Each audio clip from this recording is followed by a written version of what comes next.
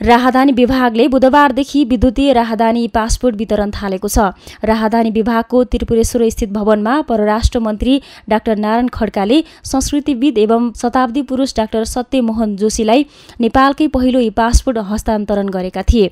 राहदानी विभागले त्रिपुरेश्वर स्थित विभागको नयाँ भवनमा ई पासपोर्ट छपाई र वितरण थालेको छ। परीक्षणमा रहेको ई पासपोर्ट वितरणपछि एमआरपीको सट्टा पनि ई पासपोर्ट नै जारी गर्ने परराष्ट्र मन्त्रालय अन्तर्गतको राहदानी विभाग विभागले जनाएको छ।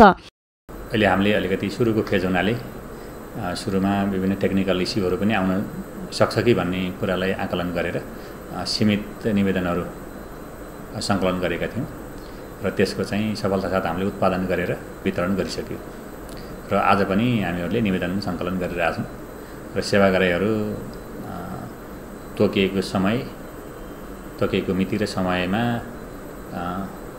लाइन नबसिकन सरासर गर्न पाएकोमा धेरै नै खुसी भएको हामीहरूले पायौँ। र यो चाहिँ कस्तो छ भने धेरै सेवाग्राहीहरूलाई एउटा भरम पनि हामीले के पायौँ भनेदेखि अब यो फिजिकल कार्डै चाहिने हो कि भन्ने छ। त्यो चाहिँ होइन। अहिले चाहिँ सबै सिडिओ कार्यालयहरूमा सहजै रूपमा राष्ट्रिय परिचय पत्रमा निवेदन परिचय पत्रको लागि निवेदन दिन सकिन्छ।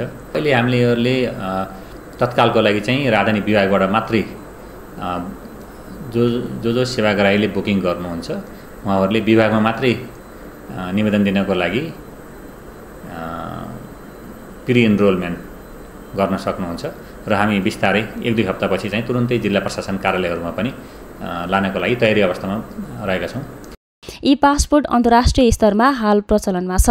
विभागका अनुसार इलेक्ट्रोनिक राहदानी एमआरपी भन्दा राम्रो गुणस्तरी र सुरक्षित छ। कभर पृष्ठमा नै निशान छाप सहित यी पासपोर्टमा विश्वव्यापी रूपमा प्रयोग गरिने चिन्ह राखिएको छ।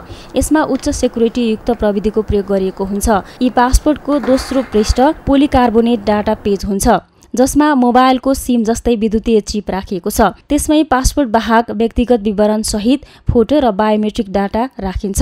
यो पासपोर्टलाई मेसिन वा कम्प्युटरले सहजै रिड गर्न सक्छ। राष्ट्रिय परिचय पत्र नम्बर समेत पासपोर्टमा राखिने भएकाले नागरिकको बायोमेट्रिक विवरण म्याच नभएको खण्डमा अन्यको नाममा पासपोर्ट बनाउन सम्भव हुँदैन। विद्युतीय राजधानीको मुख्य विशेषता भनेको त्यसमा हुने इलेक्ट्रोनिक चिप नै हो। जहाँ तपाईँले विद्युतीय विद्युतीय माध्यमबाट जसलाई रिड गर्न सकिन्छ। त्यही कारणले यसलाई विद्युतीय राजधानी भनेको र जुन चिजमा व्यक्तिहरूको बायोग्राफिक इन्फर्मेसनहरू हुन्छ। जस्तै तपाईँको तस्विरहरू हुने भयो थम प्रिन्ट हुने भयो होइन औँठा छाप हुने भयो त्यसबाट चाहिँ बोर्डर पोइन्टहरूमा सजिलै यो राजधानी बाहेक उही व्यक्ति हो कि होइन भनेर सहजै भेरिफाई गर्न सकिन्छ रुजु गर्न सकिन्छ। र यो राजधानीको आधिकारिकता पुष्टि गर्न सकिने भएको हुनाले यसलाई चाहिँ अब विद्युतीय माध्यमबाट स्वीकार गर्न सकिने हुनाले यसलाई विद्युतीय राजधानी भन्नु भनेको विभागले दुई प्रकारका राहदानी जारी गरेको छ। साधारण राहदानी हलुका खैरो रङमा हुनेछ। यो राहदानी चौतिस पृष्ठ र छैसठी पृष्ठ गरी दुई किसिमका हुनेछन्। धेरै विदेश गइरहनुपर्ने नागरिकले चौसठी पृष्ठको राहदानी बनाउन सक्नेछन्। चौसठी पृष्ठको राहदानी जिल्ला प्रशासन कार्यालय र नियोग मार्फत नियमित प्रक्रियाबाट बनाउँदा पाँच हजार रुपियाँ दस्तुर लाग्नेछ।